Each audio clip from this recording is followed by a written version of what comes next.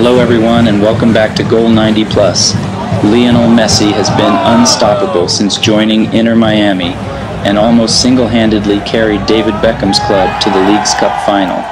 And it's natural for Nashville fans and owners to try and do everything they can to try to stop him, such as Nashville SC minority owner Giannis hit Ronaldo's celebration before his team takes on Messi, or they even hire Jesus to do the job for them.